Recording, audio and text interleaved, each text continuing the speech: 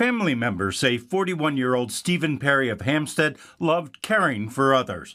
He was a healthcare professional, an avid golfer, and his mom says the glue of the family.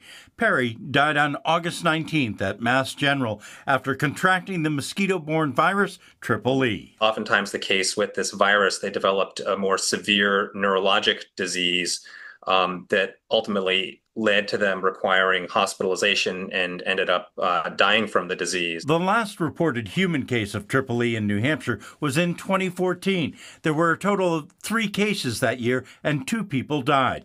While very rare, doctors say the illness is often fatal, as Denise from Hampstead knows so all too well. It's personal because I have a friend that passed away. I had a family member pass away, so that's tragic. Her friend from Massachusetts died from Triple E years back. Dr. Chan says there is no cure for the virus. About a third of people will die from their infection, and many more um, who do survive will end up with lifelong physical or mental disabilities. So this is uh, this is a serious virus. This is a serious infection. We want people to you know be aware that it's out there and circulating. Steven Perry's mom says she has no idea where or when her son contracted Triple E. Reporting live in Hampstead, Ray Brewer, WMUR News 9.